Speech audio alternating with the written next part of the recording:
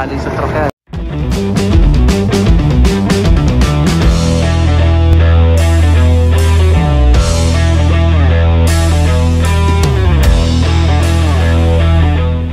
Lilipat ko ng pwesto itong car kong isa.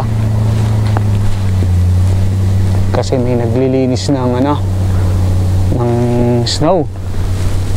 So, baka makaistorbo to no? dito. Kaya lilipat ko siya. So, ganyan ang itsura ng snow. Yan, sa gitna. Yan.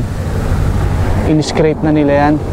Tapos mamaya mag hakutin nila yan. So, meron silang parang machine na truck na panghakot dyan.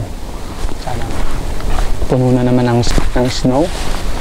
Yung talaga, pag nakatira sa Alberta, pag snow season, pagka winter season na, miyat na yung snow. Kahapon, magdamag na naman siya nag-snow kagabi. Pero hindi na ganun kalakas. So, kailangan tayo dito.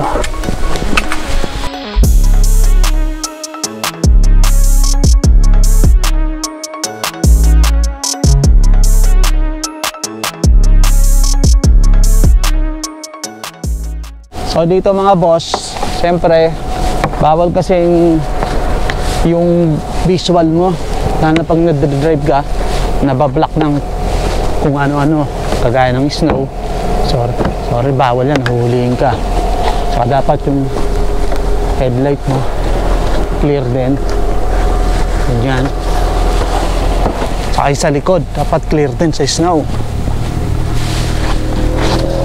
Ah, basta any obstruction. Sa pagdadrive dapat kailangan clear so yun nga. Nilinis ko yung kotse ko. Nilinis ko ng snow. Tinanggalan ko muna ng snow. Kagabi nag snow pa rin pero mahina na. So show ko lang yung paligid yung daan. So ito yung gamit ko yung lumang lumang Civic. Kasi naka winter tire to. Nung last vlog ko ginamit ko yung hatchback sport. Naka all season yun. So check natin. Ililipat ko ng pwesto to tatabi ko na lang muna doon kung wala nakapark dun sa parking lot. So ang kailangan mo sa mga ganitong weather kaya kita niyo yung mga snow oh, nasa gilid ng daan. Pangit diba? Hirap mag drive yan kailangan ng una yung car mo dapat naka winter tire.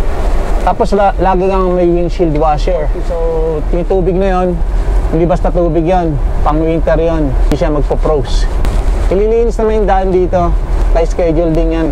Kung ano yung mga uunahin naglalagay naman sila ng sign na tong area na to is for snow removal something like that. Parang gano'n. Ganyan no? Kanya-kanyang linis yan. Ganyan to nililinis niya oh. Nga natambak nila sa gilid yan tapos may maghahakot mamaya. Kakaano na tayo rito? Yan ganyan sa gilid oh iniipon nila yan. Ino-bulldozer nila iipon nila tapos pipick upin nila mamaya yan. Mga boss worst panda hindi pa na lilinis ah. Mga major streets lang kasi nililinis eh. Itong mga to worst pa oh. Dito ka madalas yung mga incident na balaho. Hopefully hindi ako mabalaho. What the fuck are you doing slow down. Baka ang, ang taas-taas ng snow eh bibilisan niya. Pauli na. Grabe snow dito. Ba't ba ako nalusot dito? Ganyan ka ano ang snow? Kaya marami sa amin dito ayaw namin ng snow. Pag too much ang snow ganyan ang road condition. Ah, so yung may mga bahay dyan. Kanya-kanyang linis yan pag nakatira ka sa tago na lugar matagal malinis. Linisin yung area nyo. Ganyan ganito buti na naka winter tire ako siguro kung hindi ako naka winter tire wala balahaw na ako rito. Diba may daan oh pangit. Snow. Delicates dito Ah, balaho ka rito. Grabe oh. Oop, yeah. Bahagi may slide tayo. Hmm, guys, kiripin mo yung sayad. diba? O dito maayos-ayos na yung daan. Kasi major road to kasi may papuntang school dito eh. So itong kakaliwa natin na to. Ito yung isa sa mga major highway dito. Highway 16 to. Papuntang Edmonton is Highway 16 East. Pag dinire-diretso mo to, punta kang Ed- Edmonton. Matagal pa yun, mga 2 hours. So ito, kagaya nito tong road na to, ini-scrape ka agad to. Parang dyan sa snow, pagka nagtunaw na, ganyan na itsura, putik. Siyempre, snow sa kaputik, pinagsama na yan. Yan. Papasok lahat dyan sa ilalim ng car mo. So, dapat ang car mo rito naka-undercoating talaga. eh. Undercoating protection. Kasi ang snow na yan, may makasama rin salt yan. Salt na nagkukos ng kalawang sa sasakyan. Rust, di ba? Naka sa parking lot namin. So, anin ko lang si Civic na isa. Dadalawin ko. Yun siya mga boss. Tsura niya. Pinawasan ko na ng snow yung kahapon. Ang dami pa din. Tabunan na ako. Hindi na makalabas to. Ito nga pala sa Alberta, pag nag-negative, kasi dito nag, madalas mag-negative 20, negative 10. So kailangan namin to. Dito. Yan. Lahat ng sasakyan dito may ganyan. Papunta doon. Doon tapos doon yung unit unit mo, number ng unit mo. Tapos may switch, may on and off sa apartment mo yan. Doon mo i-on mo yan. Well, ang purpose niyan is, ang tawag dyan is engine black heater. So, ginagamit yan mostly sa mga malalamig na lugar kagaya nito. Alberta, Canada, na madalas mag-snow, madalas mag-minus minus 10 pababa. So, sinasaksak yan. Kasi sa sobrang lamig, minsan hindi nag-start yung car. So, kailangan mo yan. No, lahat ng sasakyan nakikita nyo yan, meron. Kada unit meron. Meron yan, yan. Nakasaksak. Ito yung mga isa sa mga bagay na importante rito na must have. Panlinis ng backyard mo, mapanlinis ng pag nabalaho ka, kailangan mo to. Kaya nang shovel ko, oh. tsaka dun, oh. Mabawasan ko siya. Mga boss, ito yung semento. Ayun yung snow. Ayun, oh. Kapal, di ba? So, babawasan ko lang siya. Kasi baka mamaya mag-heavy snow na naman. Lalo matatabunan to.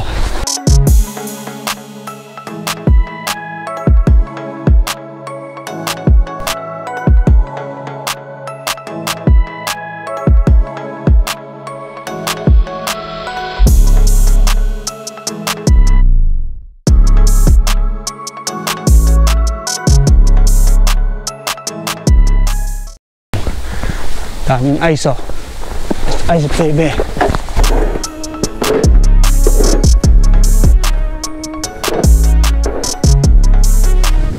Check natin mga boss kung makakatras na.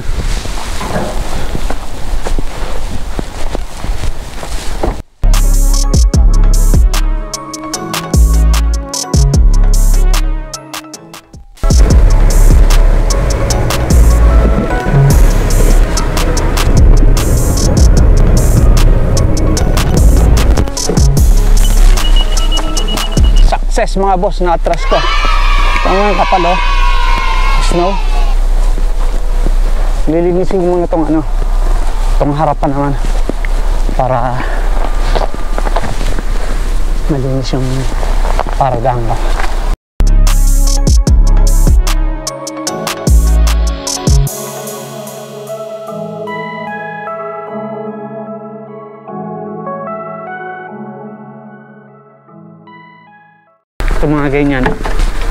Matigas na yan. oh. Yelo. Meron ding ano, kami yung ginagamit na pan chip in dito eh. Para matulis na bagay.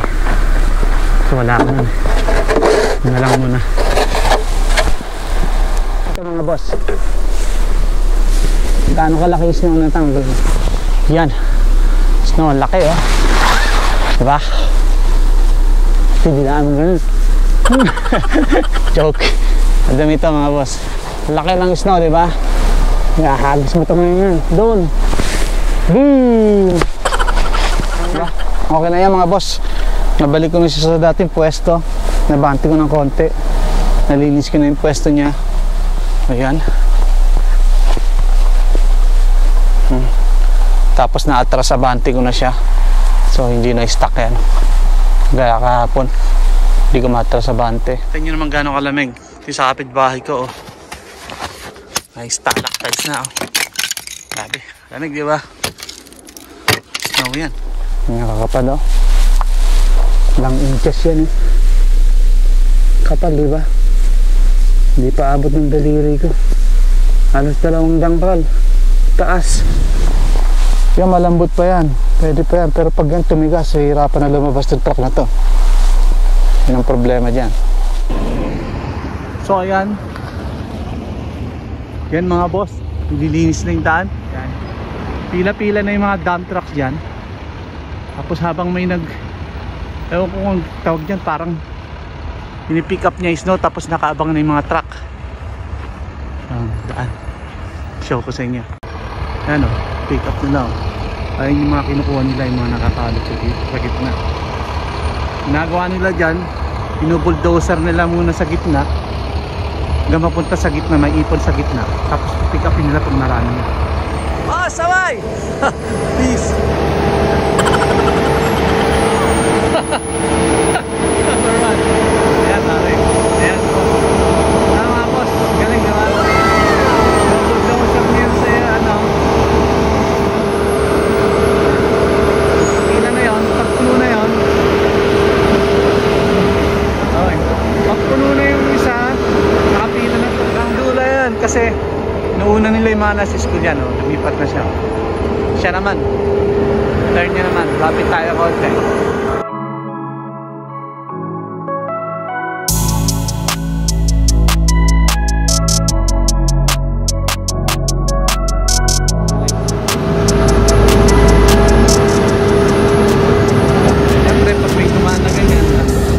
Na dumadaan na ganyan, slow down sila. Time nila magkaroon ng ano.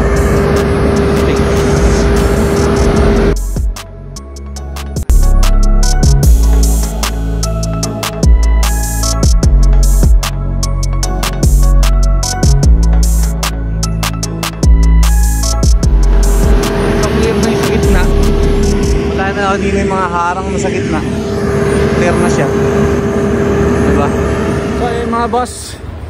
Ah, dito ko natatapusin itong vlog na to. Sino ko lang kung paano nililinis yung mga snow sa daan. Tsaka din kasi may pasok ng mga school, mga bata bukas. Pag nasa school zone, kailangan nilil- nililinis agad. So hanggang sa muli, maraming salamat sa manonood. Boss Lahir, salamat!